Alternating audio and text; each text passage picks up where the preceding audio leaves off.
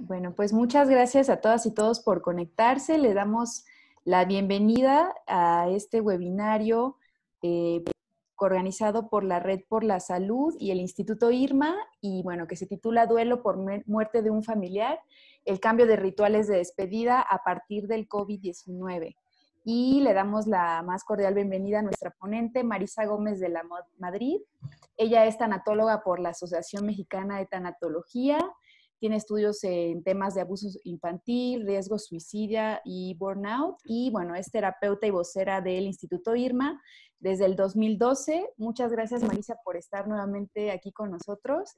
Y eh, bueno, comenzaremos ahora con la charla. Nada más comentarles que, bueno, sabemos que Zoom de pronto puede ser un espacio vulnerable ah, ante ciertos riesgos. Entonces, en caso de que tuviéramos alguna intromisión no deseada, vamos a a suspender la, sesión y retomaremos en otro momento. Entonces, nada más, este, por si llegara a ocurrir, que esperamos que no, eh, bueno, estar preparados ante tal situación. Entonces, bueno, ya sin más preámbulo, Marisa, te cedo la palabra y muchas gracias por estar aquí. Bienvenidos. Al contrario, muchas gracias a ustedes, a ti, Aida y a, a CEMEFI, Red por la Salud, por este espacio que nos, nos brindan para poder continuar compartiendo lo que hemos aprendido y que sirva de algo para todas aquellas personas que en este momento de, de tanto duelo, tanta pérdida, de repente pueden perder la esperanza. Y pues la intención es esa, ¿no? Lo que vamos a compartir es parte de la experiencia, pero recuerden que siempre para resolver un duelo necesito poner todo mi corazón y escuchar más que nada mi corazón. Si lo que yo les comparta les resuena, perfecto, pero si no, aquí se trata de respetar lo que cada quien pueda, sienta y quiera hacer.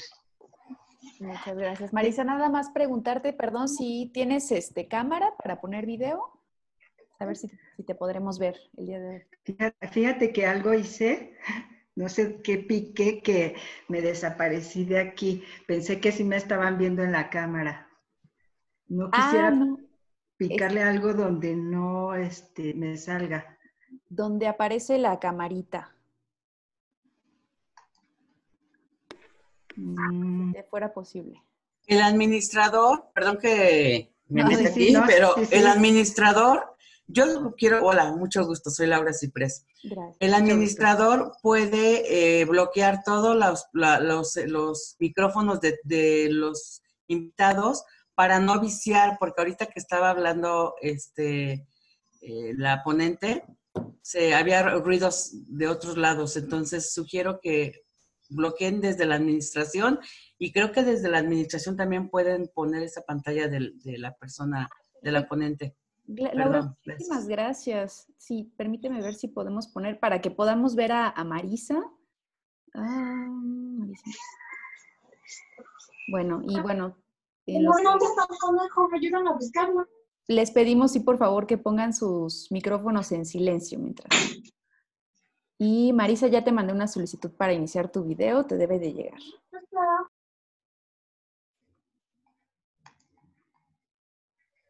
Mm. ¿Te llegó por ahí? No la veo.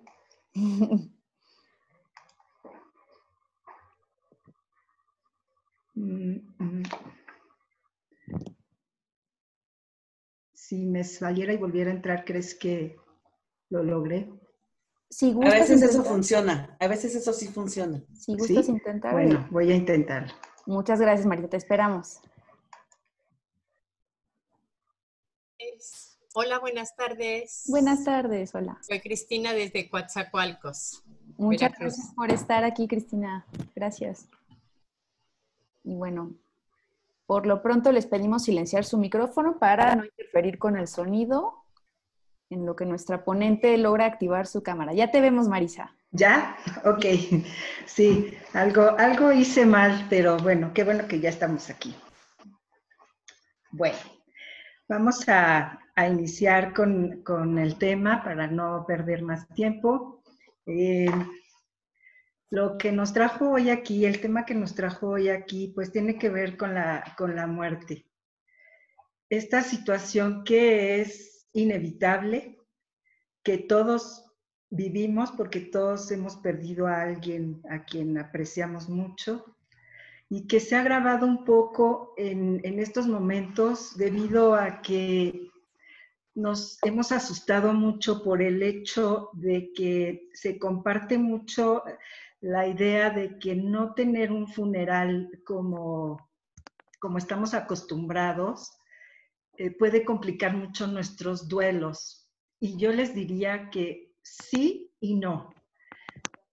Sí, si no hacemos estos rituales que son tan útiles para, poder eh, transitar por ellos y no si utilizamos los recursos que tenemos, porque tenemos muchos y eso es justo lo que, lo que quiero empezar a compartirles. De por sí la muerte de, de un ser querido resulta ser de las pérdidas más estresantes y devastadoras que podemos vivir cualquier ser humano. Pese a que sabemos que esto va a suceder y que cuando alguien nace lo que inmediatamente le sigue es la posibilidad de morir. Nos ha costado mucho trabajo como tener esta relación con la muerte que nos permita entender primero que es algo natural, que es algo que no nos gusta vivir, sí, pero que nos, debe, nos debería llevar más que a estar asustados a, a disfrutar la vida, a disfrutar a nuestros seres queridos, para que el día que tengamos que despedirlos sea con mucha menos angustia, sea con, con, un poco inclusive hasta de gozo, porque se puede, por haber disfrutado a esta persona. Definitivamente no es algo que se resuelve de inmediato. Sí necesitamos transitar por todos estos sentimientos que nos provoca la muerte de nuestro ser querido y lo primero que tendríamos que tener es no tener prisa, no tener prisa, necesitamos un proceso. Si bien la muerte es un suceso que sucede de un momento a otro, es más, dura segundos, el proceso de adaptación a mi nueva realidad y a esta nueva vida que voy a tener sin el ser querido, es justo eso, ¿no? Un proceso. Y entonces es cuando entro en un duelo relacionando esto con el COVID, pues nos lo complica porque ya venimos viviendo una serie de pérdidas que además son pérdidas muy nuevas y que nos está costando trabajo resolver. Y entonces de repente también pierdo a alguien querido, pues esto hace una, bola de nieve que nos aplasta. Entonces la, la intención pues es, primero que nada, invitarlos a que empecemos a tener este, este pensamiento de que las cosas se terminan, de que las personas se van, para poder vivir con mayor intensidad y entregarnos a nuestros seres queridos, pero con todo nuestro corazón. Esta pandemia nos ha llevado a, a cosas que realmente no nos imaginamos nunca, pero que están sucediendo y a las que como habíamos platicado anteriormente, tenemos que responder. Y las formas han cambiado, pero hay cosas que no van a cambiar y es el hecho de, cómo voy a vivir esta adaptación a mi nueva realidad y cómo es necesario que yo transite este duelo con la mayor cantidad de herramientas. Entonces, les vuelvo a, platicar. El duelo es... Ay, escucho mucho ruido. ¿Se escucha lo que estoy diciendo? Sí, ya silenciamos a la persona. Ok, gracias. Este, el duelo no es otra cosa más que esta, este proceso que voy a atravesar para adaptarme a mi nueva realidad. Es acomodarme nuevamente en la vida es hacer todos estos, estas tareas porque esto es un duelo, son realizar tareas. Y la cuestión aquí es que no tengo que, realizar una sola tarea ni tengo que tener una sola aceptación. Si bien la pérdida es de, mi ser querido, mi pérdida va mucho más allá de eso. Quienes hemos tenido, eh, hemos vivido la experiencia de perder a un ser querido, sabemos que durante el proceso se nos van revelando muchas otras pérdidas. No solo es una, son muchas otras. De ahí que la aceptación tenga que ser no solo una, sino la aceptación de varias cosas. ¿A qué me refiero? No solo pierdo este contacto físico con mi ser querido, sino que dependiendo de lo que este ser querido significa para mí y del espacio que este ser querido ocupa en mi vida, se mueven un montón de cosas. Si yo vivo con la persona, mi duelo de lo cotidiano es de lo más doloroso. Por eso digo que los días nos van revelando las demás pérdidas que, que hay, que es este detalle que parece tan simple, pero tan importante de levantarte y encontrarte con él en el pasillo, de sentarte a desayunar, a tomar el primer café con él, de sentarte a comer, de acompañarnos a, hacer compras, de cuando la persona es proveedor, también hay una gran pérdida. Si, si yo no sé o no puedo resolver mi economía, pues esto me cuesta trabajo. Entonces, si ustedes se dan cuenta, la, sensación de pérdida es enorme, independientemente de todo el, amor que está puesto en este ser querido. Y algo que es muy importante es que tengo que entender, por eso necesito también tener em, como mucha, mucha bondad y generosidad conmigo mismo para transitarlo, porque me pasan muchas cosas. Somos seres integrales y hemos reducido el duelo a solo lo emocional. Y resulta que no. En, el duelo somos una parte completa donde se afecta lo físico, lo emocional, lo, lo, familiar, lo social, por eso duele tanto. Es que me duele todo me duele el tiempo, me duele el pasado, el presente y me duele el futuro. ¿A qué me refiero con esto? Con esta sensación de, pérdida, es como si mi pasado lo hubiera perdido también. Obviamente pierdo el presente y por supuesto pierdo el futuro. Todo esto que ya no va a ser con mi ser querido duele muchísimo. Por ahí alguien en algún momento me comentó, ¿Cómo puedes perder algo que no tienes? Pero es que si perdemos eso, perdemos todo esto que no va a ser, esto que ya no voy a vivir, duele muchísimo. Entonces, adaptarme a esto, pues requiere de tiempo, requiere de tareas, como les digo, para realizar, y requiere de que ponga toda mi, mi, este, mi completud a trabajar en esto. Porque, por ejemplo, hay una cosa que, esto no tiene mucho que lo, que lo escuché y que además me vino a, cuadrar muchísimas cosas. La, escuché del doctor Eduardo Calixto, que si por ahí tienen oportunidad de escucharlo, es un neurofisiólogo que es mexicano y es maravilloso porque él habla de esto. ¿Por qué te sientes tan mal? ¿Por qué ¿por qué hay este bajón de energía? Resulta que cuando nosotros amamos a alguien, nuestro cerebro genera oxitocina cuando lo vemos, cuando convivimos con él. Y cuando yo pierdo un ser querido, mis niveles de oxitocina se van al suelo. De ahí que, que yo tenga esta sensación de pérdida tan absoluta. No es, no es este, como les digo, somos todo, un todo, hechos de, lo físico, de lo psicológico, y entonces duele el, hasta el cuerpo, ¿no? Duele la vida. Y, entender estas cosas nos han ayudado también a utilizarlas como recursos. En un momentito más les voy a decir por qué.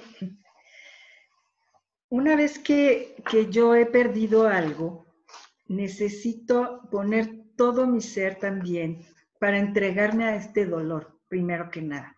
Necesito dejarme sentir porque equivocadamente nos han hecho pensar que quien se mantiene rígido va a poder superar sus pérdidas o los dolores profundos que tenga. Y es todo lo contrario.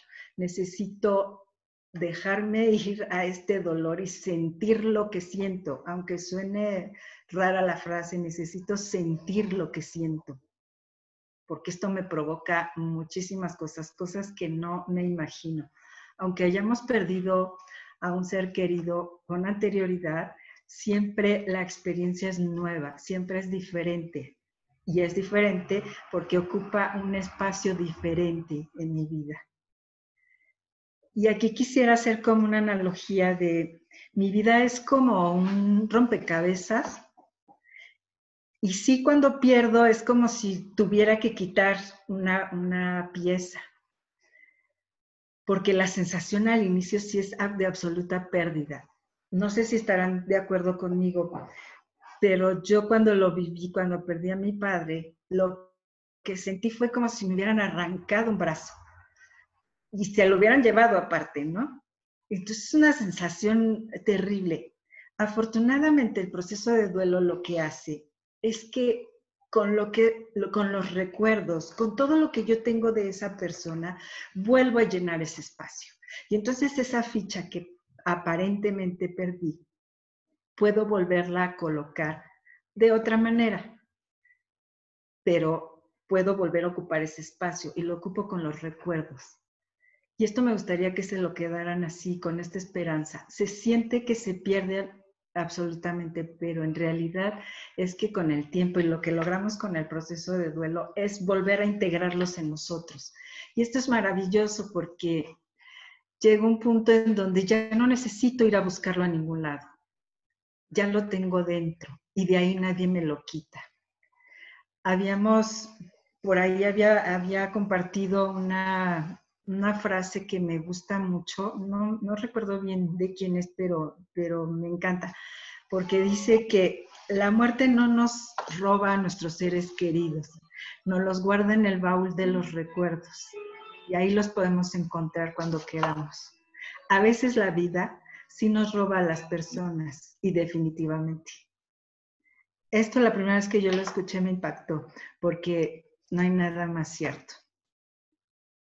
La muerte nos guarda a nuestros seres queridos en el recuerdo y de ahí ya nadie nos los quita. Necesito hacer este trabajo y estas tareas de duelo para irlo volviendo a meter.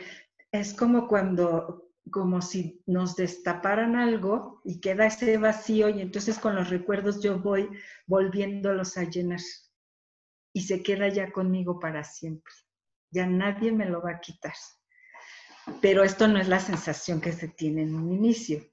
Y en este momento de COVID, pues ha sido mucho más complicado. He podido acompañar a personas que, han perdido justamente en este, en este tiempo a seres queridos, no precisamente por el COVID, pero sí porque eh, llegó el momento, porque había una enfermedad previa, o este, hay gente también que ha tenido accidentes y no están relacionados precisamente, pero lo que complica aquí es el momento.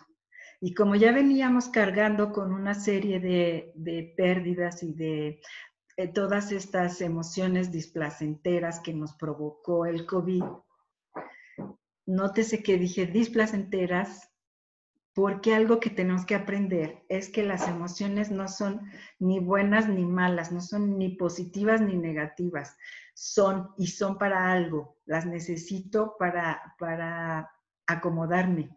Entonces, prefiero que las llamemos displacenteras porque pues no son cómodas, sin embargo, están ahí para enseñarme algo. Y pues dando ya un poco de herramienta para esto, es que esta sensación de no poderme despedir de mi ser querido es terrible. Sin embargo, no, no es determinante. Esto es, esta es la esperanza que queremos compartir. Esto no es determinante para que mi duelo se, se haga más complejo. Sí puede ser difícil en un inicio, pero hay una serie de cosas que puedo realizar para que yo pueda ir transitando mi dolor, resolviendo estas tareas con lo que hay. Lo que este COVID nos enseñó es que tenemos que ser flexibles.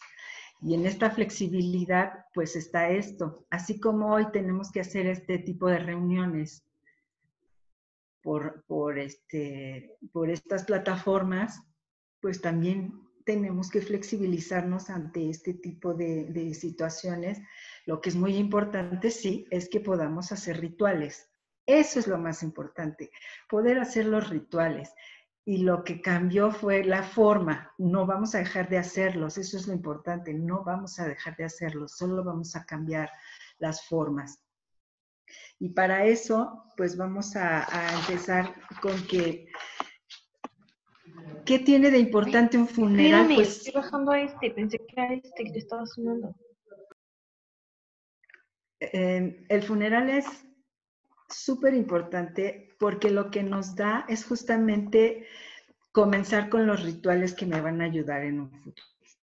Es decir, lo primero que hago es poder, e, es avisar a la gente que, que he perdido a mi ser querido, esto antes se hacía mucho en el periódico, hacíamos llamadas por teléfono y de ahí luego la gente iba avisando a otros, ¿no? Y de repente a los funerales llega gente que, a la que tú no le habías avisado, pero que, que es gente que quiere estar contigo. El hecho de poder tener este tipo de reuniones donde yo pueda juntar a todos mis afectos, pues es muy importante porque este espacio me sirve primero que nada porque sí me enfrenta a la irreversibilidad de la muerte. Sí me hace darme cuenta que esto es algo real. Por otro lado, porque siempre estos apapachos, estas palabras lindas, estos abrazos, ayudan muchísimo. Desgraciadamente en este momento pues eso es algo de lo que, de lo que no, con lo que no vamos a contar. Sin embargo, las redes de apoyo siguen ahí y entonces vamos a tener que cambiar las formas. Igual no podré hacerlo eh, con una presencia física, pero podré hacerlo con una videollamada, con un mensaje, con, con otra llamada y tratando también siempre pensando que si no puedo estar ahí con, mi, con, con toda mi, mi, persona, sí puedo hacer sentir a la persona que estoy ahí con el corazón.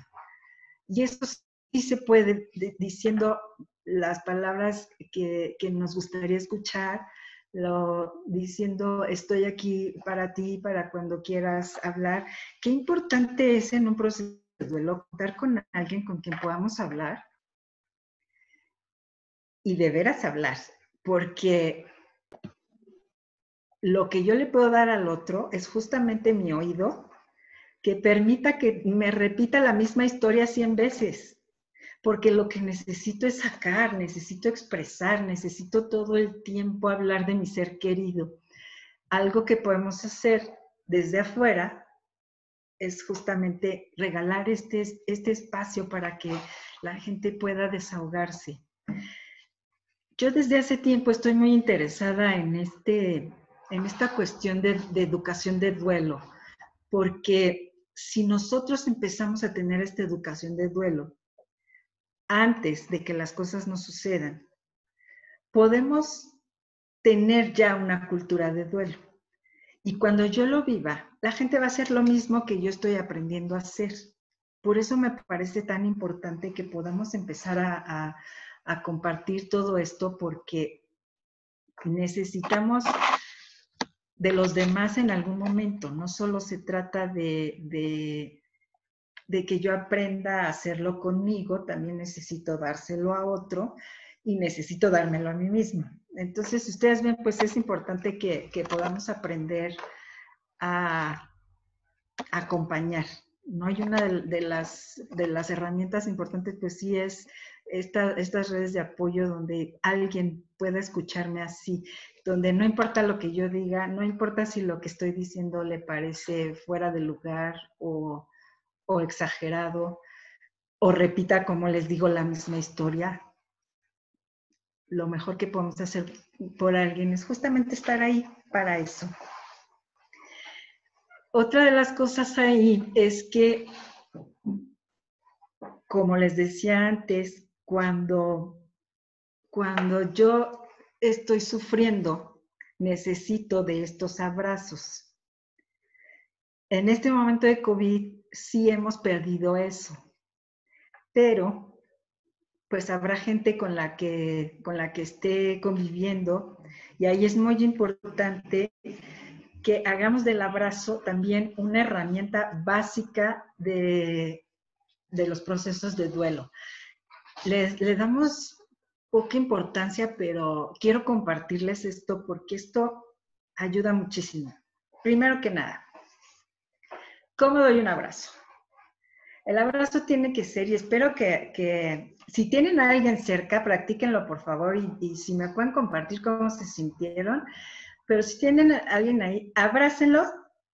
El abrazo tiene que ser de corazón a corazón, buscando que cuando yo haga esto pueda juntarme con el corazón del otro, por un lado. Por otro lado, necesito que pasen más de, de 20 segundos porque a los 20 segundos yo empiezo a, segregar oxitocina. La oxitocina es la hormona del amor y es una hormona que además me da tranquilidad. Entonces, hay que utilizar este recurso. Todos lo tenemos y todos lo podemos brindar a otros. Cuando en una familia estamos viviendo una pérdida dolorosa, tengo un, un, maestro maravilloso, el doctor Jorge Montoya, que habla y lo da como, como receta, de hecho, habla de dar un abrazo, darse abrazos entre la familia cada cuatro horas, así como receta de doctor. Y ayuda bastante, ayuda bastante, porque además me ayuda también a, a este, sacar a veces lo que necesito es justamente algo que me pique en ese botoncito para que salga el llanto. Y como habíamos comentado en otra ocasión, el llanto es maravilloso.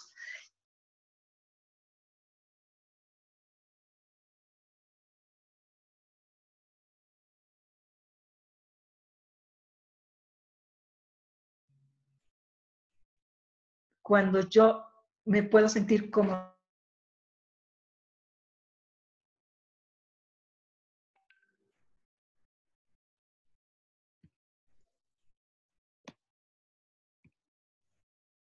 No se escucha nada. Eh, Marisa. perdimos a Marisa. A ver, Marisa, ¿nos escuchas? Parece que se, se atoró la pantalla. Debe ser su conexión. No escuchamos nada. a ver, un momento de, de, paciencia. Esperemos a que Marisa se reincorpore con nosotras y nosotras.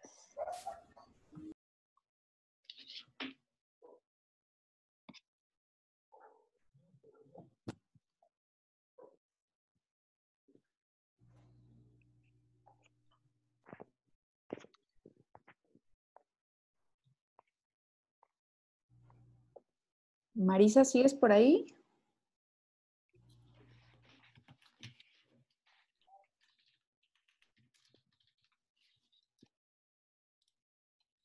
Ya le estamos escribiendo por WhatsApp. Un minuto, por favor.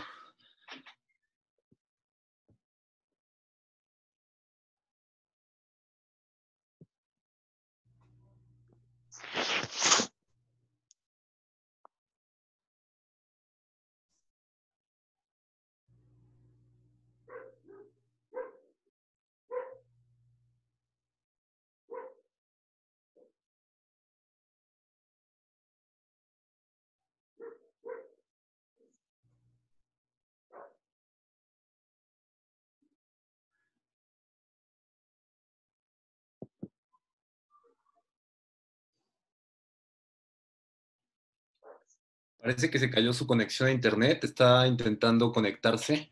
Entonces, un minutito si quieren ir al baño mientras o ir por un café. Ya se está reconectando. Pero sí, una pequeña pausita. A ver, Marisa. Tomar agua. Oigan, este, ¿podrían, mientras se conecta, platicarnos un poquito de qué es su institución? Que es la primera vez que la conozco y que la veo. ¿Del Instituto Irma? E, e, es la Red por la Salud.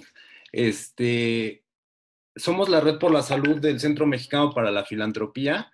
Pueden encontrarnos en redes como Red por la Salud o bueno, al CEMEFI, el Centro Mexicano para la Filantropía, lo pueden eh, encontrar también en la página www.cemefi.org. Ahora en el chat les ponemos todos los datos. Y Marisa es parte de IRMA, una asociación que se dedica a eh, temas de atención psicológica eh, a mujeres que han perdido un bebé, no importa de qué manera. Entonces, Marisa es terapeuta de IRMA, que bueno, con mucho gusto nos se han abierto para compartir estos webinarios que ya llevamos varios desde que empezó la pandemia. Este, hemos estado conversando sobre el duelo y sobre cómo afrontar pues, estos tiempos ahora ya con terremotos y, y pandemia como el día de hoy. Este, pero sí, es la red por la salud a la cual pertenece el Instituto IRMA. Muchas gracias. ya llegó Marisa, qué amable. Muchas gracias. Es comercial. Ay, perdónenme, perdónenme, pero es que se fue el internet aquí en su casa y este me quedé hablando. No te preocupes, Marisa. Ya estoy aquí, ya estoy aquí. Les comentaba que, me compartieron hace poco algo que no, había leído, pero me parece muy lindo. Eh, Bertina, nuestra compañera de Irma, lo compartió, que habla de cómo veían en otras culturas hace muchos años el, llanto y resulta que, que, lo consideraban una comunicación bendecida porque cuando lloro hablo con honestidad.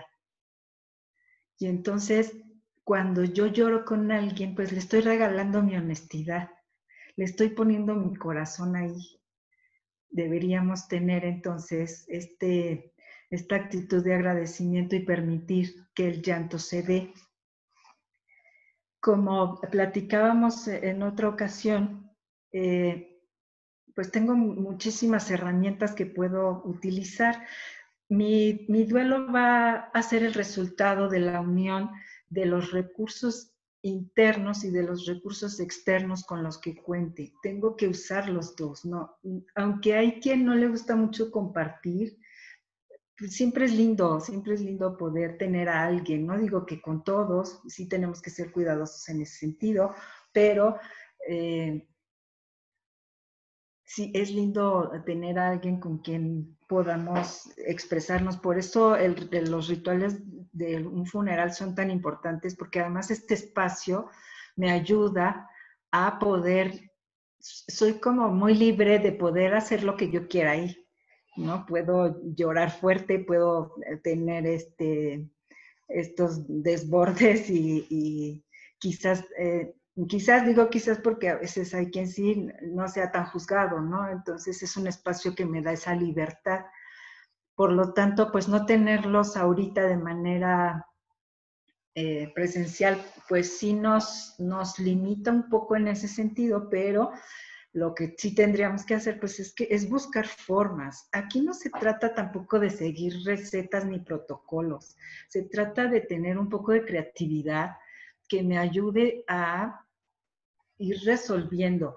Y, lo digo porque habrá cosas que nos quieran imponer que, que, no le vayan bien a mi corazón. Por eso digo que una de las herramientas increíbles es justamente ir al corazón y preguntarle que si se siente cómodo con esto, si, si quiere hacer esto otro, y, también pues como tiene que ver con, mi forma de ser y la forma en que yo me expreso y la forma en que yo transito la vida, yo les puedo comentar que una, paciente que, me compartió haber perdido a su madre muy, muy al inicio de, la pandemia, eh, estaba contenta porque no quería a nadie en el funeral, entonces para ella esto de no tener que invitar a más gente fue maravilloso y ella se sintió muy cómoda así.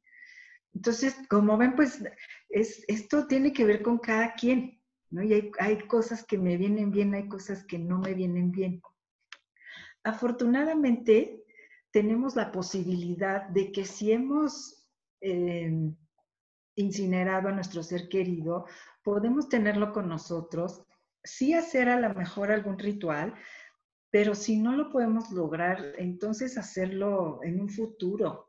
Es, algo, ahí sí es algo que podamos postergar. Cuando es entierro, no, porque además tengo entendido que solo están dejando entrar cinco personas cuando mucho a los cementerios.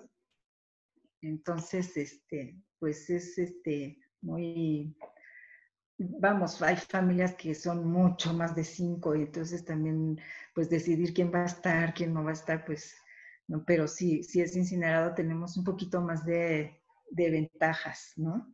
Eh, algo que también ayuda en, los funerales, pues es este detalle de, que hay gente que le gusta llegar y hacer las oraciones, hacer los rosarios, eh, manejar cosas, por, ejemplo, es de gran ayuda. No toda la ayuda que podemos ofrecer tiene que ver con eh, el aspecto emocional. Yo eh, quiero, quiero compartirles que, que, en el funeral de mi papá, recuerdo muy bien a una muy, muy querida amiga que llegó al funeral con, una, con dos cajas de, de agüitas y las empezó a repartir. Nadie le preguntó si, más, más bien nadie le pidió que las llevara. Sin embargo, yo cuando la vi llegar con eso, pues me pareció un lindo detalle y a todo mundo le cayó bien, ¿no? Esta también es una forma de abrazarte. En otra ocasión vi a una persona llegar con su cafetera, su café, las bolsitas de azúcar. Entonces, esto también es abrazarte. Entonces, podemos hacer muchas cosas. Podemos ofrecer también ayuda en el sentido de, eh, a lo mejor necesitas que haga alguna diligencia o algo que, que tú en este momento no eres capaz de hacer. Y si nosotros vamos integrando esto a un comportamiento común, cuando a nosotros nos suceda, también lo vamos a recibir. Y esto ayuda muchísimo a poder eh, como descargar un poquito tanto peso que se siente de resolver tantas situaciones, Por eso es importante el, funeral. Sin embargo, eh, sí vamos a poder hacer una, un ritual que ahorita más adelante les, les, voy a compartir. Es como un, este, es una sugerencia, como les digo, no tiene que ser tal cual, tienen que adaptar ustedes eso a, sus, a, sus creencias, a, lo que les nazca hacer, pero este, sí puede ayudar. Son ideas, no son mías, son de, mi maestro, el doctor eh, Jorge Montoya, pero eh, me gustaron mucho y, y sé que a mucha gente le han servido de mucho.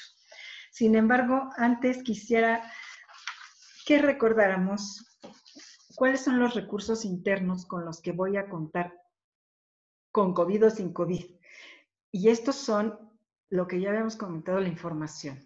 Necesito información sobre lo que es un duelo. Para esto es muy importante, si no quieren ser acompañados por algún profesional, sí podemos comprarnos libros, podemos eh, investigar temas donde yo me sienta atorado esta información siempre nos da la sensación de tener un poquito más de control sobre lo que estoy sintiendo, además de que me aclara mucho cuál es el panorama que me espera. O inclusive si, si no estoy pudiendo pasar a, una siguiente etapa, pues igual y me puede desatorar por ahí. Entonces, eh, pues primero que nada es la información y vuelvo a lo mismo, es esta educación en duelo que necesitamos para transitar no solo esto, sino cualquier tipo de pérdida. Todo ayuda.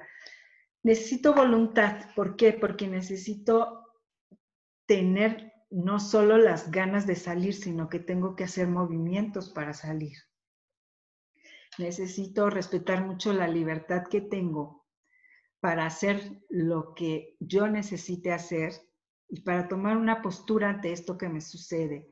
Recordemos esta frase de Víctor Frank que dice que yo puedo perderlo todo, menos la última de las libertades del ser humano, que es la de adoptar una postura ante las cosas que estoy viviendo. Y esto ayuda muchísimo. Y lo quiero poner como ejemplo en un caso donde lo importante que es la forma en que yo interprete las cosas, ¿no? Y la postura que tenga ante esto, porque una paciente que murió su hijo, vamos a poner dos, eh, dos escenarios. Su hijo tiene un accidente y cuando ella llega al accidente, él todavía eh, está vivo, alcanza a abrazarlo a tenerlo en su regazo y el hijo muere en sus brazos. Hay dos posturas. ¿O por qué, por qué tuve que vivir la muerte de mi hijo así? O la que ella tuvo, que para mí fue una gran maestra, de decir, le agradezco a la vida me haya permitido no solo traerlo al mundo, sino despedirlo en mis brazos. Como ven, son dos posturas muy diferentes, que no se llega a ese momento tan fácil. Necesito trabajar y necesito poner todos mis recursos ahí para poderlo, para poder eh, llegar a, este, a esta postura. Pero eh, ayuda mucho, ayuda mucho pensar que, no, soy, no es lo que me suceda, sino cómo me lo platico también y cómo lo, vivo. Otra de las, de las herramientas importantes es, justamente poner eh, límites a los de afuera. Límites en el sentido de que Nadie puede venir a mí a decirme cómo lo voy a vivir, ni cómo me debo de sentir, ni cuándo ya es tiempo de que esto haya pasado, usando estas frases como, eh, todavía sigues así, ya hace mucho que se fue, cosas así que en lugar de ayudar a, a, a la persona, pues las, hacen sentir muy mal. Tengo una lista por ahí que ahorita les voy a compartir de frases que debemos evitar. Pero no quiero este, adelantarme con esto de, los recursos internos. Necesito comunicación. Esto es súper importante. Necesito, la comunicación no tiene que ver solo con hablar con el otro, también tiene que ver cómo hablo conmigo y en dónde pongo todo esto que quiero decir. Para esto es muy importante que podamos utilizar el diario de duelo, donde puedo ir registrando lo que estoy sintiendo, donde puedo ir poniendo mis aprendizajes, donde puedo ir poniendo agradecimientos, todo lo que vaya sucediendo lo puedo ir registrando. Y esta es una herramienta maravillosa porque, en primer lugar, queda todo registrado, que esto es en un, momento más adelante puede ser muy, muy valioso, porque me voy dando cuenta también de los avances que puedo ir teniendo día con día.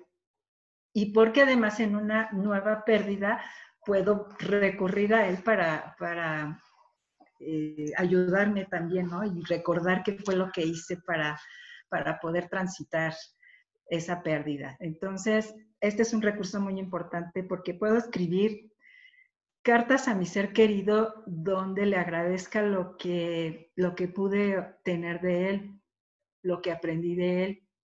Puedo hacer cartas inclusive de si por ahí quedó algo atorado, algún enojo, alguna culpa que sienta, eh, en fin, cosas pendientes, las puedo escribir ahí.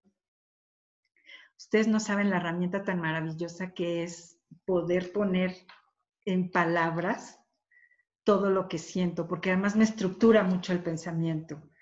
Me estructura el pensamiento, lo dejo ahí registrado y puedo evaluarlo más tarde. además de que me permite sacar todo lo, que hay adentro. Necesito también ayudarme con eh, el no juicio, ¿no? Lo que hablamos de suspender el juicio, al menos por momentos, en donde pueda dejarme sentir lo que siento sin estarme eh, regañando porque esto es demasiado, porque no deberías de estar así, ya deberías de haberlo superado. No, hay que dejar que, que, el dolor haga su propio trabajo. Esto es muy importante, no puedo evitarlo si yo perdí a alguien, no va a ser fácil que me pueda instalar nuevamente en la vida con la alegría que tenía antes. Pero lo que sí es importante es que trabaje en él, porque no puede ser que haya dos muertos y un ataúd. Yo necesito seguir en la vida, haciendo mi proceso, sí, pero eh, aceptando que mi ser querido no quiere de mí ni la tristeza, ni la frustración, ni la falta de esperanza. Quiere de mí mi bienestar, mi alegría y mi vuelta a la vida. Y la, la, mejor manera de honrar a un ser querido es justamente haciendo estas tareas de duelo que necesito para ir aceptando mi pérdida, para finalmente volver a la vida. Lo mejor que puedo hacer por él es volver a vivir. Entonces, hay que echarle ganas a, este, a estos procesos, echarle ganas no en este sentido de, ponerle toda la fuerza, sino de, dejarme fluir, de entender que va a ser un proceso, que no voy a, superarlo de manera inmediata, pero que sí lo voy a superar. Necesitamos tener esta esperanza porque quienes han vivido este tipo de pérdidas saben que no miento cuando digo que hay una sensación de que el dolor se va a quedar ahí para siempre. Y esto da mucho miedo. Y entonces debo tener esta esperanza de que las cosas van a pasar, pero no van a pasar solo por el tiempo, van a pasar porque voy a estar trabajando en esto. Necesito también darme un poco, le llamamos las tres Ds, que son diversión, descanso y disfrute quitémonos esta idea de que el hecho de sentirnos feliz por algo en un momento donde estoy atravesando por un duelo es faltarle a, mi ser querido. Les vuelvo a repetir, lo que un ser querido quiere de nosotros es la alegría y es tu bienestar. Entonces, el que tú salgas un poquito de, este dolor y te puedas distraer tantito con una plática diferente, con leyendo un libro. No se trata de evadir, porque eso sería otra cosa. Estoy hablando solo de un momento de distracción que me permita volver a agarrar fuerza. Hace mucho tiempo que adopté esta, eh, estas palabras que me acomodan muy bien porque, porque se puede hacer aunque estemos en una pérdida muy dolorosa, que es el de estar feliz, triste puedo estar en el mismo momento feliz por, por, porque otra cosa sucedió y triste porque he perdido a mi familiar, pero puedo en el mismo momento hacer las dos cosas. Y de repente tenemos esta cultura donde alguien que ha perdido a un ser querido no debe moverse, no debe quitarse el, el, el luto, que afortunadamente eso ha ido cambiando. Sí hemos ido haciendo un poco más de cultura en este sentido.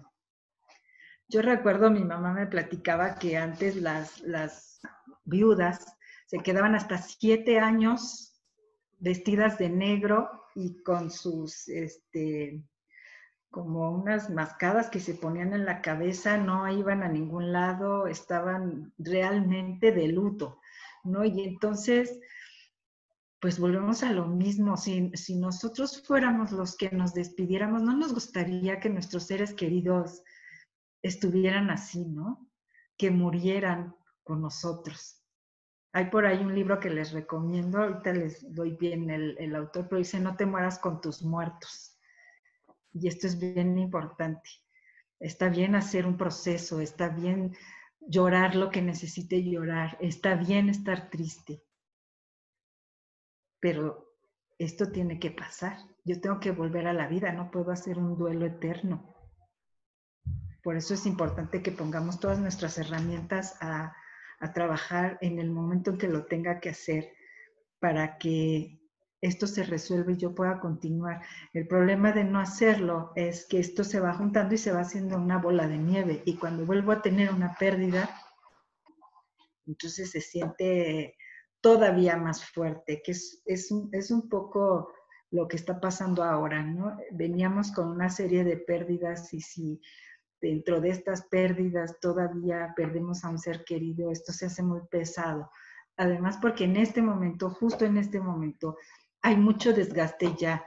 Ya estamos muy desgastados de venir luchando contra todo lo que esto nos ha provocado, todas estas emociones, este miedo, la irritabilidad, este, los enojos, todo esto venía siendo ya una pérdida fuerte y ahora resulta que, hay quien ha perdido a un ser querido, pues se siente realmente devastado porque es demasiado y, con e, a eso todavía le sumamos lo de el hecho de no poder hacer estos funerales donde voy a recibir esta contención de, de la gente que me quiere, pues entonces sí se complica un poquito, ¿no?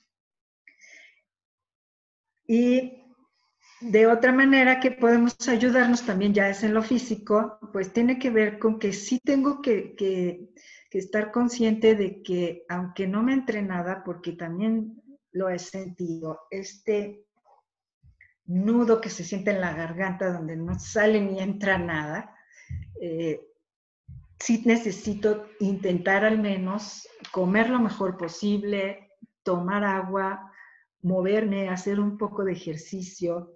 Dice el doctor Montoya que cuando tenemos una pérdida eh, tan significativa, nuestro cuerpo empieza a generar toxinas. Eh, él le llama este, cortisol. Esto hace que nuestros niveles estén eh, muy bajos y lo que necesitamos es movimiento.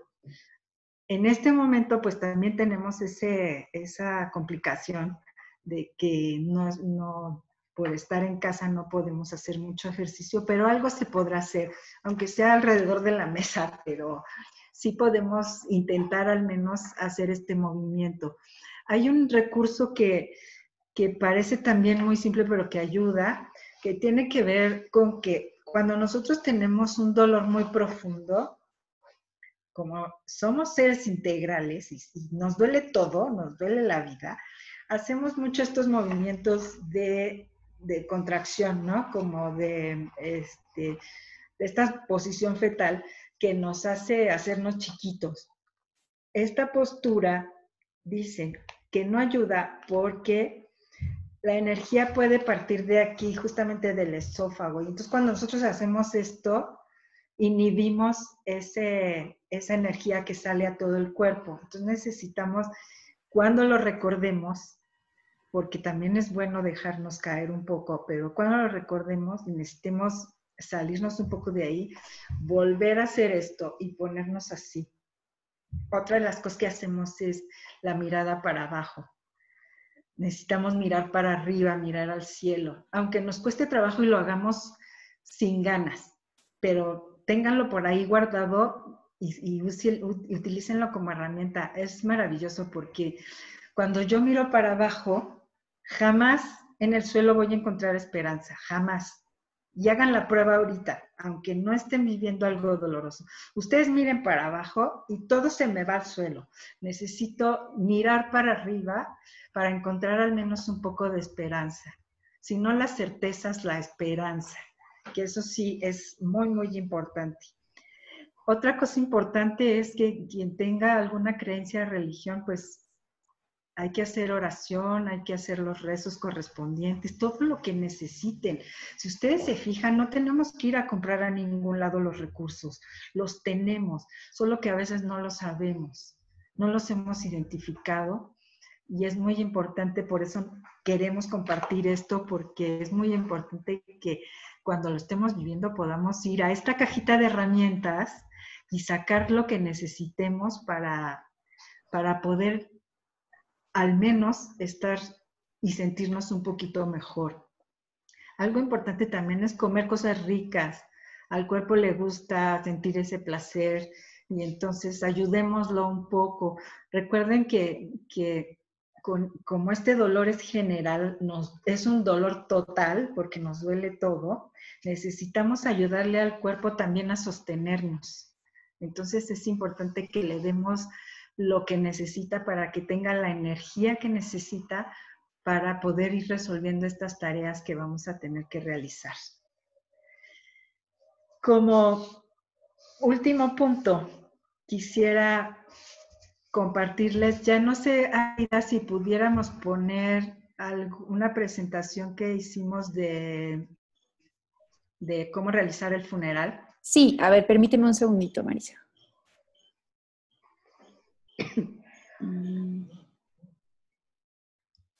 A ver, permítanme, por favor.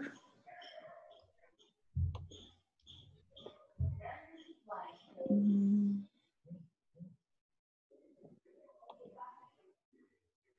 A ver, no sé si aquí se ve. Bueno, si no se los voy platicando, pero yo creo que sí lo ven, ¿no? Sí se ve. Ah, ok, perfecto. Bueno, primero que nada, como decíamos, tengo que ser flexible y las cosas cambiaron. No puedo hacer este evento de manera presencial, al menos en este momento, pero sí puedo organizar con estas plataformas que hoy han sido tan valiosas.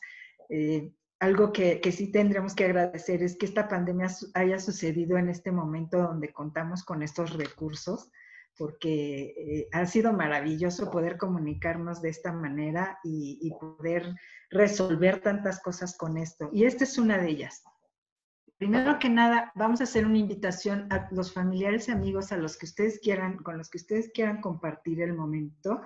Se dice, se establece una hora y se establece eh, la plataforma. Quien va a dirigir esto necesita organizarse primero para, una vez que haga la invitación, pueda dar todos los detalles. Necesitamos pedirle a los que van a ser invitados, que nos hagan una cartita, una frase, algo que puedan agradecer a nuestro ser querido. Y la van a leer hasta la ceremonia. Solo necesitamos pedirles que la tengan lista antes de iniciar la reunión. Y entonces se puede hacer, recordemos que, que lo que me va a ir sanando son este tipo de rituales donde sean tan simbólicos que, me vayan dando un poquito de, paz.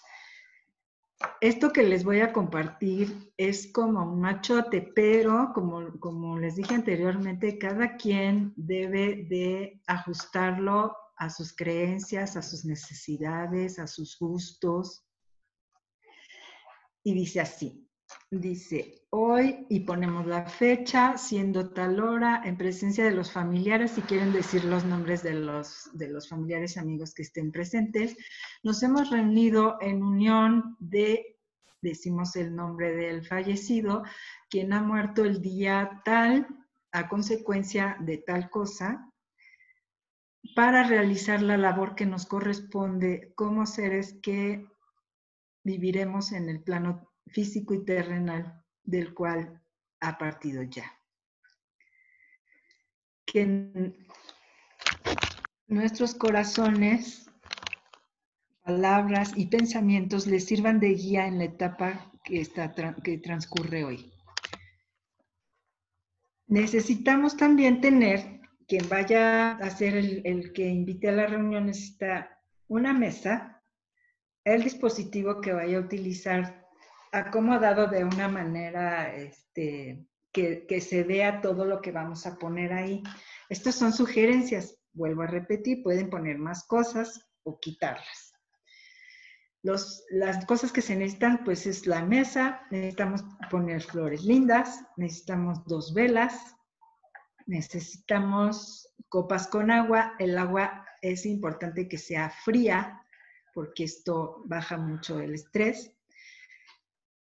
Necesitamos, la, por supuesto, la foto de, nuestro ser querido, necesitamos la, computadora o el dispositivo que quieran utilizar, necesitamos ya en el, momento de la ceremonia hacer una, meditación. Necesitamos también una carta de elogio. Esta es una carta donde eh, pues se habla un poco de la biografía de, nuestro ser querido y detalles que, pues que sean como muy de él, ¿no? Esto esto es importante porque cuando yo escucho hablar de mi ser querido, lo recupero. Y no solo lo recupero, sino que lo traigo a la vida de nuevo. Entonces es una manera hermosa de, honrarlos. Y en, ya en, el, en, la ceremonia, pues vamos a leer estas cartas de despedida y de agradecimiento. Cada quien puede leer la suya. Va a haber muchas lágrimas, sí, pero para esto es para lo que necesitamos el, el ritual y algo indispensable que no está ahí en la lista, pero que es indispensable, que es este auxiliar cardiovascular que es el Kleenex. Nos va a ayudar bastante. Tenerlo ahí siempre ayuda a, a darnos permiso de que fluya el llanto. No pasa nada, al contrario, es muy sanador.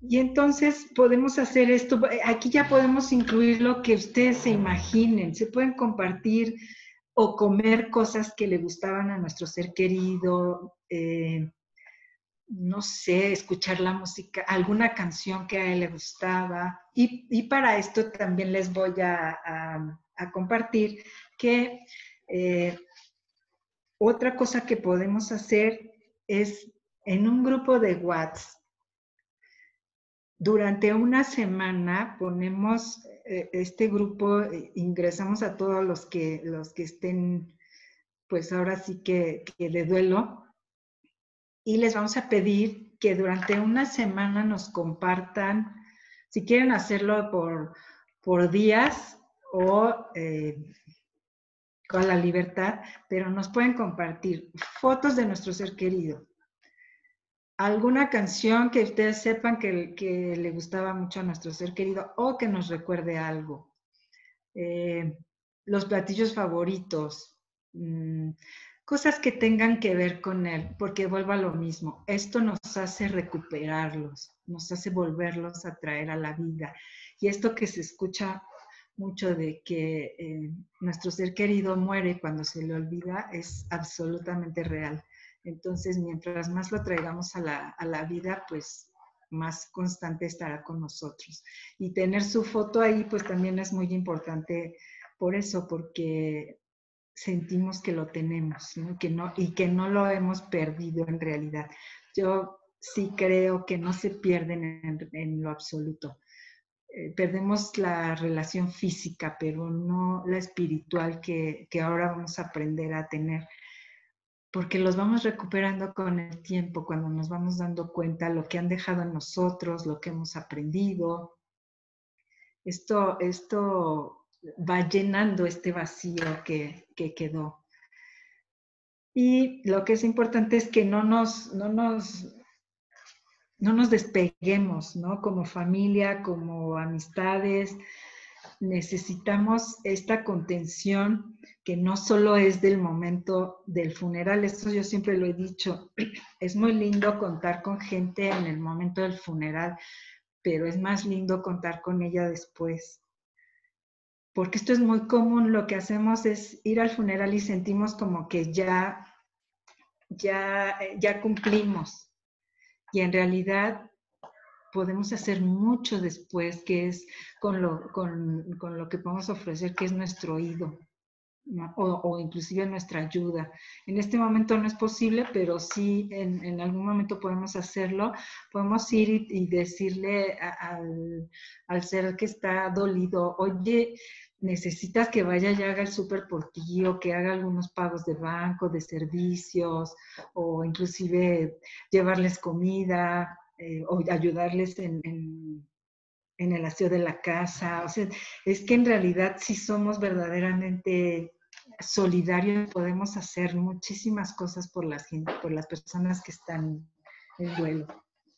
Y una de las cosas que podemos hacer, pues también es evitar este tipo de frases que son terribles y que las comparto no porque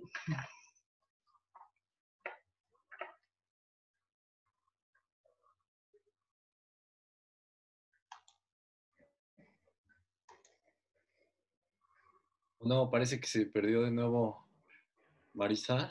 No, ya estoy aquí. Ah, bueno, bueno, perdón. Este, sí, sí me salí, pero ya supe cómo entrar rápido. Este, estas frases que les comparto no son porque yo lo considere, es cosa que son cosas que las personas me han compartido.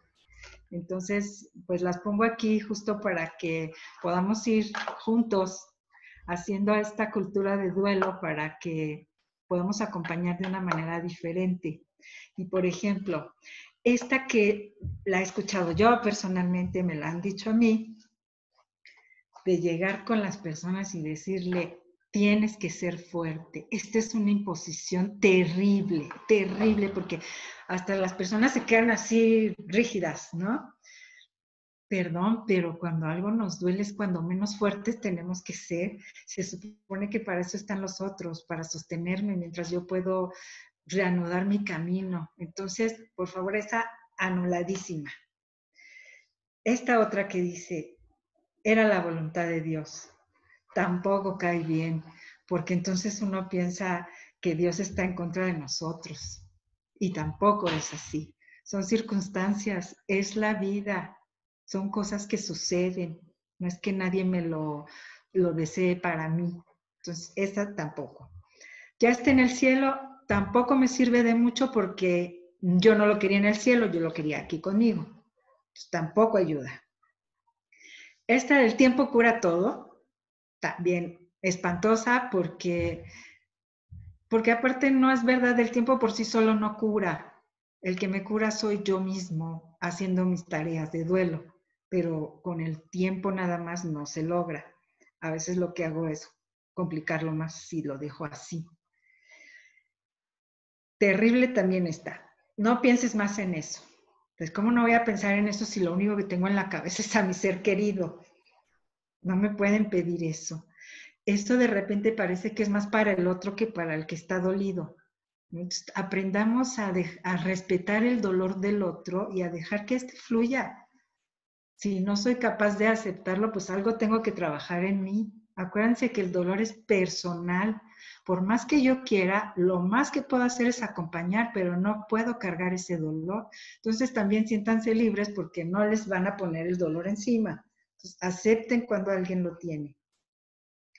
O esta también de, de que no te vean débil, ¿no? Esta, esta no me gusta nada, nada, porque la he escuchado mucho en padres que se mantienen con esta dureza, con esta rigidez que valoran mucho, pero que la verdad es que no sirve de gran cosa, porque no vaya a ser que mis hijos se den cuenta que soy débil. Enseñamos mucho más mostrándonos vulnerables que haciéndonos los fuertes, porque en realidad ni siquiera estamos así. Es mucho, y es, además es mucho más, eh, eh, nos trae mucho más relajación, podernos expresar y decir, pues sí, sí estoy triste, sí estoy triste, pues no perdí cualquier cosa, porque esta es otra cosa, no decirle a un hijo que yo, que estás triste porque perdiste a tu padre, perdiste a tu madre, es decir, los papás no importan, no pasa nada, si alguien muere, yo puedo seguir con la vida. Y eso pues no es así, realmente nos sentimos devastados. Y aunque sí tenemos que ayudar a, que aprendan a utilizar sus herramientas, eso es algo muy distinto a valorar tanto la idea de que mientras más fuerte y más rígido permanezca, es mejor y más rápido voy a poder transitar lo que estoy viviendo. Entonces, también hay acciones que no aportan, ¿no? Como es este hecho de frenar que, surja la lágrima, mejor me voy para allá para que no me vean llorar. Si bien es cierto que tengo que cuidar los lugares en donde yo pueda expresarme, lo que no está bien es que yo me esté frenando todo el tiempo. Sí necesito tener espacios donde pueda desahogarme y donde pueda compartir con mi gente el dolor que estoy sintiendo. Algo que es muy, muy, muy duro y que también he visto mucho es esta cuestión de que en, los velorios, de repente la gente que está muy dolida tiene conductas muy intensas, donde se desbordan muchísimo. Y lo primero que la gente dice es, seguro siente culpa de esto, seguro son los remordimientos, seguro algo le quedó a deber. No juzguemos tan duro. Muchas veces o la mayor parte de las veces tiene que ver con que es mi forma de expresar, es mi temperamento y es lo que necesito hacer, gritar, tirarme al suelo, hacer mi berrinche. Eso es lo que necesito, no seamos tan duros para, para juzgar. Otra idea muy equivocada es creer que una mujer embarazada no debe de llorar porque le va a transmitir al bebé eh, este, este estrés. Déjenme decirles que se quedan más estresadas si no se les permite expresar su dolor. Al bebé le pasa, no le va a pasar nada si, si, si yo pongo afuera todo esto que estoy sintiendo y si lo puede expresar el hecho de que yo me, me, este, me contenga de lo que estoy viviendo. Idea también muy equivocada, pensar que, que llorar es hacer que, el difunto no pueda irse libremente o que no va a descansar porque yo estoy llorando. Mi ser querido ya está más allá del bien y del mal. La que necesita o el que necesita del llanto soy yo. Entonces tengo que permitirme eso. O pensar que las personas que no lloran es porque no amaban a su ser querido. Esto tampoco es real. Es que también son formas de expresar. Hay gente que no, no puede expresarse así y esto ni siquiera podríamos decir que es malo. Hay gente que su forma de expresarlo o de desahogarlo es diferente. Entonces, también por ahí no, no juzguemos eso. Pensar que ir al panteón es malo, mala idea también. Cada quien encuentra su forma de, de desahogar. Hay gente que le gusta ir y se siente mejor. Si te sientes mal, pues entonces si no vayas. Pero si, si esto te hace bien, pues háganlo si, es importante para ti tener las cosas de tu ser querido un tiempo, pues también ténganlas.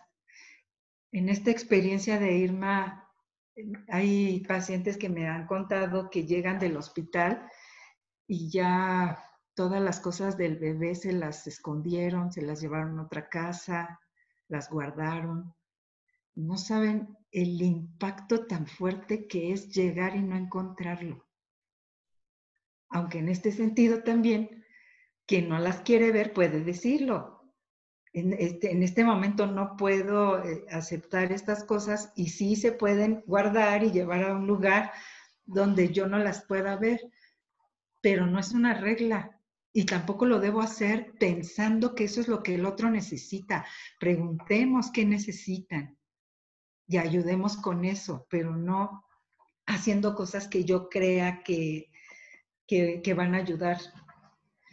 Animar a las personas que están en duelo a moverse y a, vente ya, este, te voy a invitar acá, te voy a llevar allá, eh, vamos a hacer esto, con la intención de que, de que no le duela, tampoco es una buena idea. Si no estamos para eso, no estamos para eso. Entonces, tengamos este respeto, ¿no? De, este es un principio de, duelo, que es respetar lo que el otro quiere y cómo lo quiere. Y finalmente, lo que sí nos va a aportar, pues es justo no juzgar, dejar que se expresen como ellos quieran, tener reuniones con la familia. Si en este momento de, de aislamiento no podemos juntarnos con la familia, podemos nuevamente hacer reuniones por Zoom, videollamadas, donde podamos hablar, si bien de nuestro ser querido o de alguna otra cosa, pero podemos seguir haciendo estas reuniones donde yo pueda encontrar esta contención que necesito. Pensar que hacer cosas que me lo recuerden es malo tampoco es bueno. ¿eh? Ayuda muchísimo poder escuchar la música que le gustaba, hacerle este homenaje de, y quizás de cocinar lo que le gustaba, eh, de ver fotos, ver videos, todo esto ayuda. Sí, es verdad que nos va a desbordar un poco, pero donde está la herramienta es justo en saber en dónde lo podemos hacer y con quién. Buscar estos espacios, se puede. Uno tendrá que seguir siendo vital en ciertas áreas de la vida, pero podrá tener sus espacios para poder desahogar este dolor y entrar y salir como yo lo, lo vaya necesitando. Y pues, como ven, mucho de esto tiene que ver con la creatividad, con preguntar también a los seres queridos, a la familia, cómo les gustaría hacer estos rituales, qué podríamos incluir. Eh, lo que sí no quisiera olvidar es que antes se usaba mucho que se les hicieran cartas y se aventaran al cielo con globos. Por favor, eso ya no lo hagamos, porque esos globos después terminan en, el mar eh, o en, ensuciando nuestro planeta Tierra. Es muy lindo el ritual, es muy lindo porque pues ver lo que se va hacia el cielo, eh, agarrar el globo y hacer esto es un poco soltar, o el ritual es lindo, pero pues la verdad es que sí afectamos nuestra, este, nuestro planeta. Entonces, busquemos otras formas. No la incluí porque me parece que si estamos en, en, las casas o en un departamento, no es nada, este, nada bueno para la salud. Pero el doctor Montoya habla de un recipiente donde se queman las cartas como una manera de soltar. Si no lo quieren hacer en casa, pues a mí sí se me hace medio complicado, pero si podemos hacerlo en, un área este, abierta, también ayuda. Combina también un poco, lo de los globos, yo sí les pediría que dejemos de, de utilizar ese, ese ritual porque sí nos, nos lastima mucho. Y pues finalmente para, para cerrar, estoy abierta a, a, los, este, a las preguntas que quieran hacerme. Si quisiera compartirles una, este, una, es un pensamiento que me encanta porque algo que nos deja la muerte, el aprendizaje que nos deja la muerte de cualquier ser querido, sí es que tenemos que aprovechar la vida. Siempre nos quedamos como, y hubiera hecho esto y hubiera hecho el otro. Hagámoslo antes de que esto suceda. Tomemos conciencia de que la muerte es algo absolutamente inevitable, que en algún momento nos va a llegar que en algún momento tendremos que despedir a la gente que más amamos, tratemos de hacer que este tiempo que nos queda con, de vida, no solo a nosotros, sino a nuestros seres queridos, sea intenso. Digamos lo que tengamos que decir. Vayamos saldando facturas todos los días para que cuando esto pase nos quedemos con, aunque sea con un poquito más de, de tranquilidad, porque el proceso de cualquier manera voy a tener que que hacerlo y voy a tener que volver a adecuar mi vida a esto porque esto deja un vacío fuerte y nos desubica, nos, a veces perdemos el sentido, nuestra realidad cambia absolutamente y tenemos que hacer nuestras tareas para, para volver a la vida. Pero me, de la dificultad para Me encanta, me encanta esta frase y espero que podamos hacerla, porque dice, la vida no debería ser un viaje hacia la tumba con la intención de llegar con un cuerpo bonito y bien conservado, sino más bien derrapando de lado entre una nube de humo completamente desgastados y destrozados para gritar fuerte, uf, vaya viajecito. Y pues con esto yo cierro. Si alguien quiere hacerme algún comentario, alguna pregunta, Muchísimas gracias, Marisa. Bueno, apuntamos algunas preguntas que nos hicieron durante la charla en el chat. Y, por ejemplo, Gloria Pérez preguntó, ¿quién es el autor del libro que recomendaste? Eh, gracias. Y Almadelia también nos comenta, ¿qué libros recomiendas para acompañar en el proceso de duelo? Bueno, hay muchos libros, pero a mí mi, favorito ha sido este de Jorge Bucay, porque es muy claro, utiliza un lenguaje muy claro y es muy asertivo en, en las cosas como las dice. Se llama El Camino de las Lágrimas es de, Jorge Bucay y si pueden después de ese leer El Camino de la Felicidad, pues es, bastante este, muy bueno porque nos deja como estas dos partes, porque esto es la vida, ¿no? Es, es la felicidad y es la tristeza. Entonces, si pueden leerlos los dos, se los recomiendo muchísimo.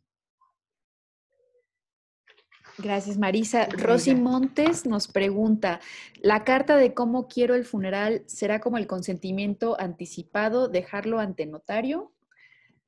Mm, no sé si ante notario, pero algo que sí les sugiero, que esto también sería maravilloso que lo pudiéramos hacer todos ya, es como sí expresar nuestro deseo de, cómo queremos que, que se dé este funeral, porque en mi experiencia acompañando familias completas, veo que hay muchas discrepancias entre si se, si se entierra o se incinera, si se viste con tal ropa, cosas así.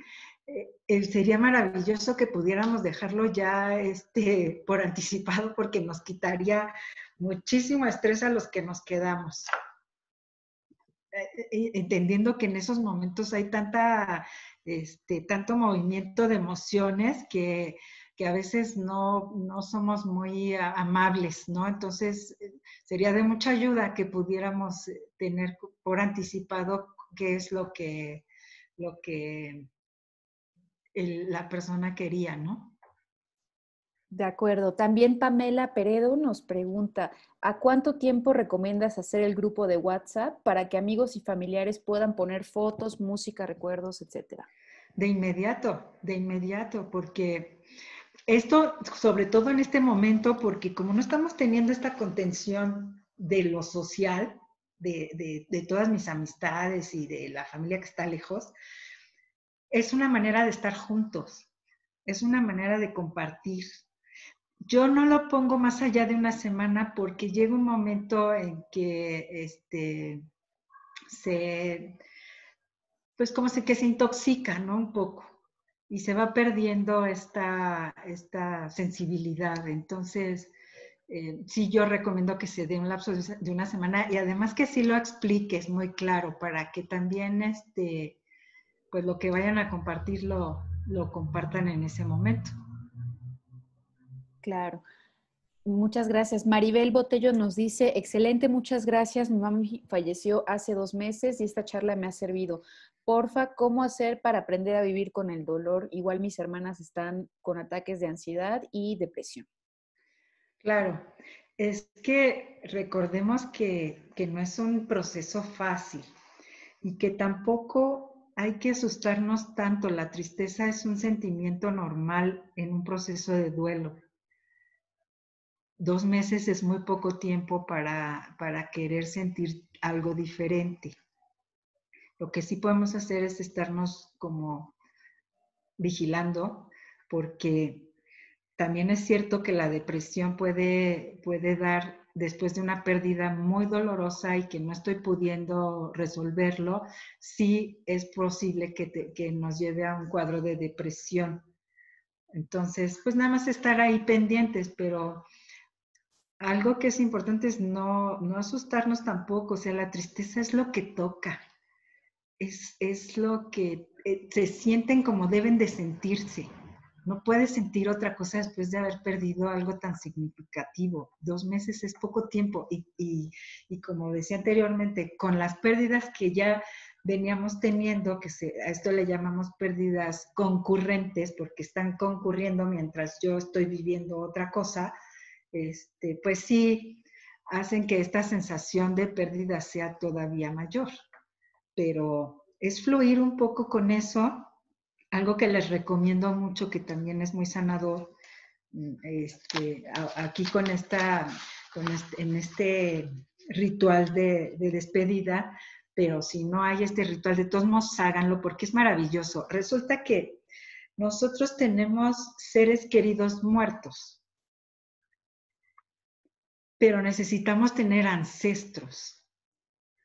¿Cómo los hacemos ancestros? Haciendo su biografía.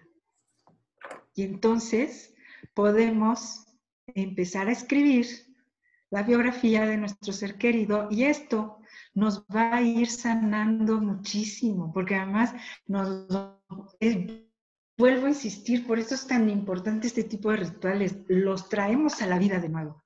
Y lo que es mejor, los, los familiares que estén abajo de nosotros, que no los hayan conocido, en algún momento podrán recurrir a esta biografía para saber quién era mi abuelo, mi bisabuelo, mi papá, mi mamá, mi hermano, ¿no? Entonces sí, sí es muy, muy útil este, esta biografía, que se puede hacer además eh, este, a nivel familiar, ¿no? No nada más una persona, todos pueden cooperar para agregarle cosas, escribir ahí anécdotas que tengan, que les hayan marcado la vida con este ser. Eso ayuda muchísimo. Mientras más nos acompañemos en el proceso, pues mejor nos iremos sintiendo. Si bien es cierto que tengo que usar mis, mis recursos internos, el recurso externo de la familia, de los amigos, de mi religión, ayuda muchísimo. O sea, hay que agarrarnos de todo lo que podamos. Gracias, Marisa. También eh, Cilia Mariana nos comenta, gracias Marisa, reconozco tu labor, humanidad y carisma al compartirnos tu conocimiento. en consulta últimamente soy psico-oncóloga y tanatóloga, he tenido nuevos retos, mayores casos de ansiedad, así como dificultades al momento de fallecer un familiar por temas de COVID. Sin embargo, tenemos que adaptarnos a esta nueva realidad y realizar las tareas del duelo tal como mencionaste. Un fuerte abrazo. Eh, Adriana también agradece y Lourdes pregunta, ¿qué palabras se utilizan para dar un pésame? Pues mira, yo soy de la firme idea que a veces las palabras están de más. Desgraciadamente ahorita no podemos darnos, este abrazo de contención donde yo con mi corazón te pueda expresar todo lo que siento y lo que me duele verte en, este, en esta situación. Sin embargo, ahorita sí tendremos que buscar lo, ir al corazón antes de decir cualquier cosa. Vayan a su corazón y dejen que Él sea el que hable. Porque estas frases que ya se utilizan tan, tan comúnmente, eh, como la de lo siento mucho, pues también he escuchado gente decir, ¿por qué me dicen eso? Porque no es cierto. Al menos no como yo, como yo lo estoy sintiendo. Entonces hay que, hay que buscar cosas que sí vengan del corazón, pero tratemos de no usar esto que ya se ha venido haciendo como de cultura, ¿no? Lo siento mucho. Yo, y yo les comparto, cuando murió mi papá y la gente me decía, siento mucho tu pérdida, yo sentía que me volvía loca, porque la palabra pérdida no la soportaba. Y me la dijeron infinidad de veces. Resulta que, el, hecho de sentir que perdía era lo que me estaba lastimando, pero lo descubrí con los días cuando fui viendo que no lo había perdido del todo, que yo lo traía puesto en mí. Pero hay palabras que sí no, no caen muy bien quizás mejor decir, estoy aquí para ti, estoy para lo que necesites, eh, más, más por ese lado de, no, no hablar de, lo que tú sientes, sino de, de lo que yo puedo hacer por ti. muchas gracias. Nos pregunta también Amanda Romar, ¿algún curso o diplomado que recomienden sobre tanatología? Eh, me encanta tu pregunta porque justamente en el Instituto Irma, con esta necesidad que hemos detectado y no de últimamente, eh, tengo que decirlo, no es de, no fue raíz de, a raíz de COVID, lo veníamos comentando, pero lo estamos ya este, tratando de concretar, es que nos interesa mucho dar educación en duelo. Cuando pasamos por estas cosas nos damos cuenta que nos falta mucha información, que nos falta mucho aprendizaje sobre cómo podemos transitar nuestros, nuestros duelos. Entonces, estamos preparando un curso justamente de lo que tú hablas, que en breve les estaremos compartiendo. Excelente, excelente noticia. Eh, bueno, María de los Ángeles, muchas gracias por la sugerencia, buena charla. Eh, Laura Ciprés también, excelente conferencia, mil gracias, tocaste mi corazón.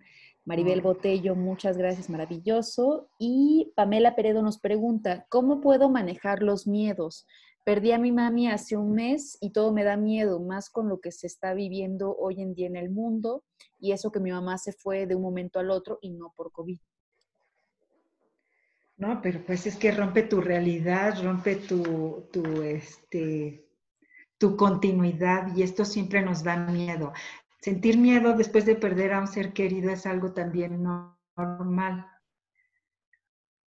porque nos enfrenta a cosas nuevas.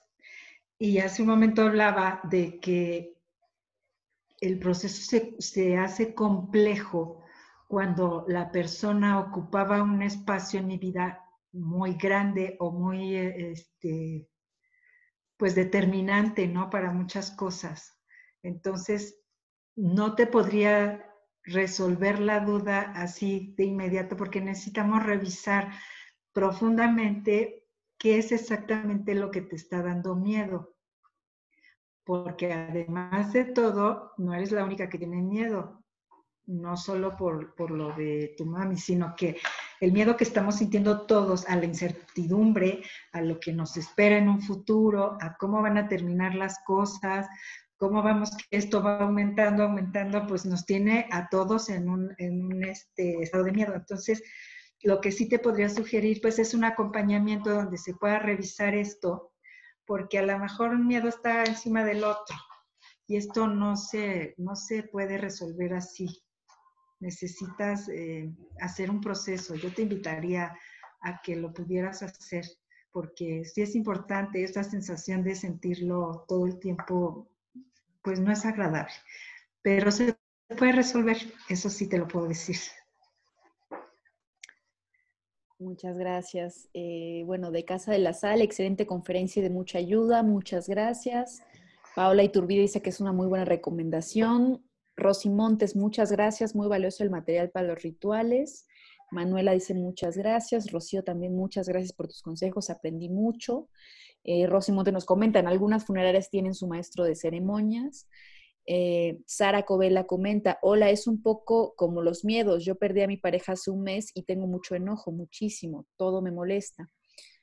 Lourdes nos comenta, gracias por tu conocimiento, tiempo y para compartir con nosotros, tocaste mis sentimientos y reflexión. Y Ana Hernández nos dice también, gracias por compartir tu conocimiento, bendiciones. Pues, Ay, muchas gracias, muchas gracias a todos por, por mantenerse aquí, por poner su interés en, en lo que queremos compartir. Creo que, que no podemos quedarnos con esto esto que hemos aprendido, ¿no? Porque finalmente, aunque nuestra experiencia es específicamente en la pérdida gestacional, pues los duelos tienen cosas muy parecidas y eso es lo que hoy nos permite poder compartir a nivel general información que les ayude para, para poder estar en estos momentos tan complicados de, este, de además de todo haber perdido a un ser querido.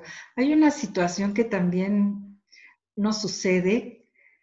Ustedes seguramente han visto a un bebé cuando le hacemos este juego de ahorita estoy, ahorita no estoy, y el bebé se angustia.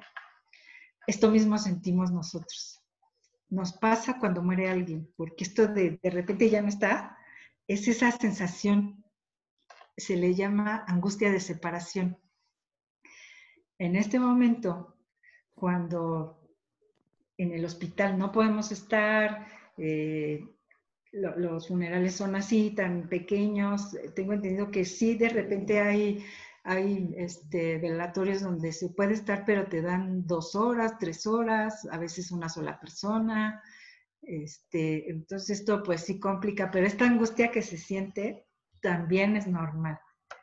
tenemos que ir este, pues sanándola, pero no, no se asusten tampoco. Lo que pasa es que es un impacto terrible, como inicié diciendo, es de las experiencias más estresantes y devastadoras que puede vivir un ser humano, perder a alguien a quien ama.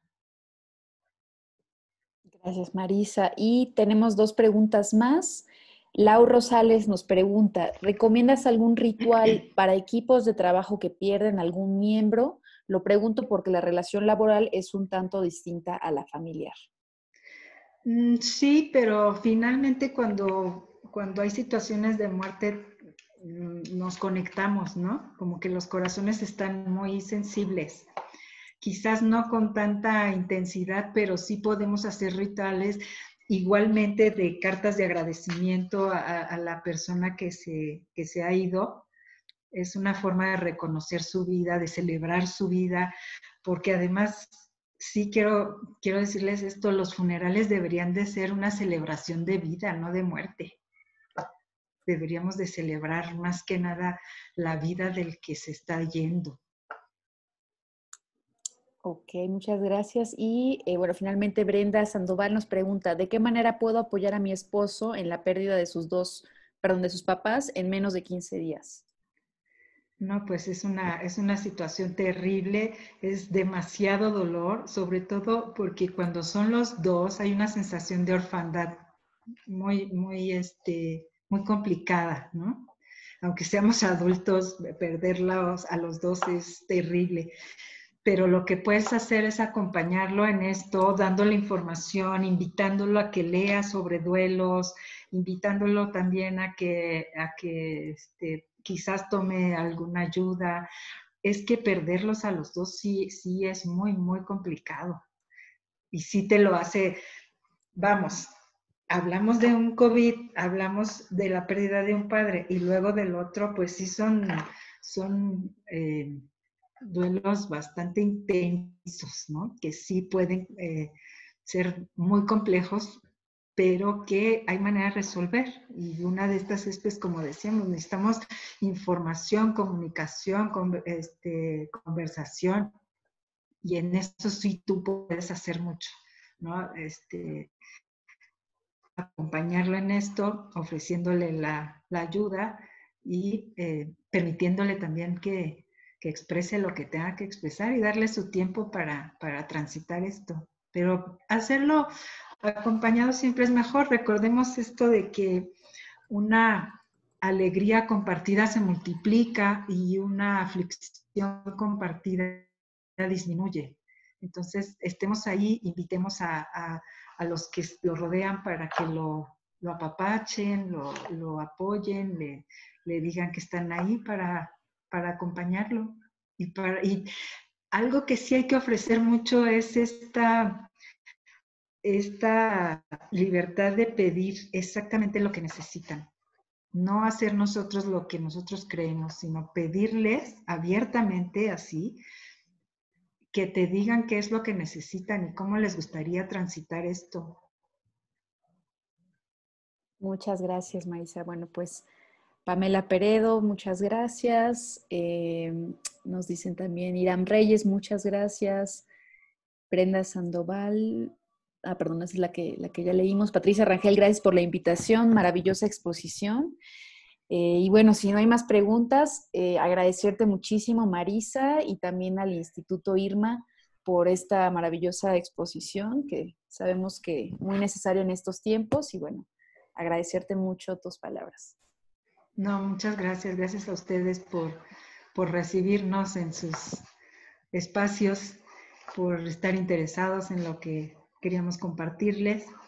Y pues de mi parte les mando un abrazo así bien, bien apretado a cada uno de ustedes, de corazón a corazón, tratando de aliviar un poco todo lo que estamos viviendo. Claro que sí, pues muchísimas gracias y gracias a todas y todos por participar.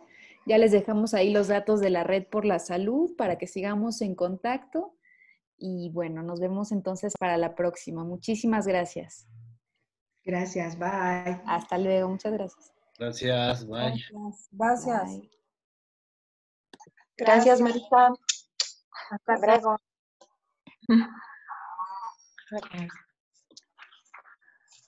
No sé cómo salir.